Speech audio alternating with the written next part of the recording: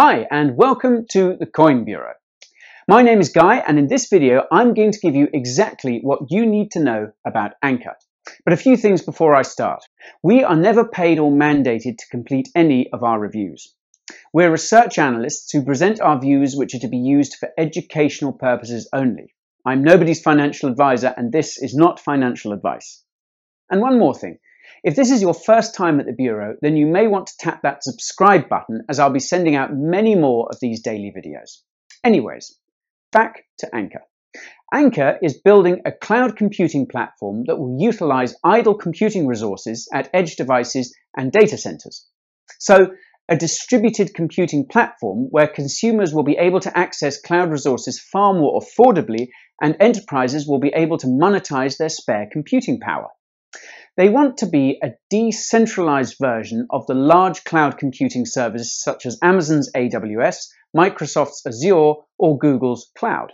However, there are also a number of other competitors to Ankr in the blockchain space. So, what makes it so unique? In order to answer that, we have to take a closer look into the technology. What makes the Ankr network unique is it is one of the first to use trusted hardware to ensure security at enterprise levels. They're using Intel SGX as the main technology component, which allows for the execution of applications within the hardware itself.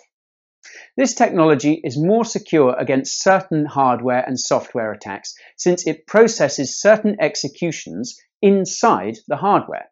Of course, this could limit the number of users that are able to run a verification node on the network.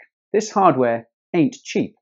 However, the Ankr team is of the view that this will increase the security on the network as the monetary commitment could be a disincentive for malicious actors. So we'll have to see how this plays out. When it comes to the blockchain itself, they use a proof of useful work consensus mechanism. Essentially, validator nodes will take part in block propagation on the network. The team hopes that by using these special nodes, quality of the network can be maintained and bad actors can be removed. Ankr will also utilize a reputation-based system when it comes to choosing these validator nodes. And in order to facilitate off-chain data and processing, there is a native Oracle system that transfers between the on-chain smart contracts and off-chain data. Oh, don't worry if any of this is confusing to you. We've linked our complete review of the project below if you'd like to look into it more. Now, in order to power the Ankr network, the Ankr utility token is used. Ankr will be used to pay for computing power to those who are providing it. Now, here is the slightly confusing part. There are actually three token types. Firstly, you have the ERC20 variant, which was issued on the Ethereum blockchain, as well as a BEP2 version, which was issued on the Binance chain. Then, as of July 2019, you have the native token that was issued on the mainnet launch. This is the token that is used to participate on the Ankr network. All of these token types are live, although only the ERC20 and BEP2 tokens are traded on the open market. The team hopes that this could increase liquidity, although it does muddy the waters somewhat. Anyways, Ankr held an ICO back in September of 2018 and they were able to raise about $18.7 million in both a private and a crowd sale. This was in exchange for 35% of the 10 billion token supply. Ankr tokens were sold at about 0.6 cents in the public portion and 0.3 cents in the private portion. So, so far, a decent return on investment. So, who is the driving force behind the project? The Ankr core team is made up of 16 members, many of whom are graduates of the University of California they have a strong background in engineering and technical disciplines, and some have limited marketing experience, with a few who have successfully created and sold other businesses before joining Ankr. This team has been quite busy working on the protocol, something that you can confirm by jumping into their GitHub repositories. There are also several partners and advisors who have provided commercial and entrepreneurial expertise to the project. Now, Let's take a look at the Ankr markets, shall we? Ankr is currently listed on a number of different exchanges. This is probably as a result of having those two different token types being actively traded. The largest volume is currently taking place on Binance, and there are healthy turnover levels on these order books, which bodes well for the liquidity of the token. So, easy execution. In terms of wallet support, that really depends on the type of token that you hold.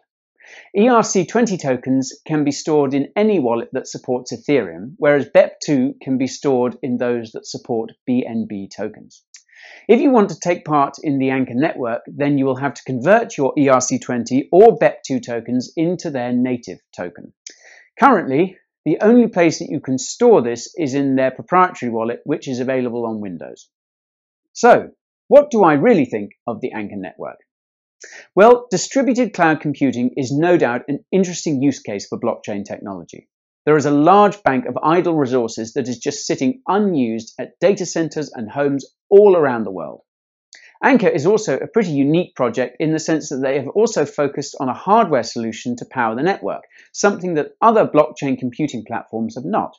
There is also a pretty strong team behind the project, and they have been actively working on the protocol. Now, having said all of this, there are still a number of challenges that lie ahead. The project is still only in the initial stages, and there are a number of other cloud computing blockchains that are further ahead. These include the likes of iExec and Golem, etc.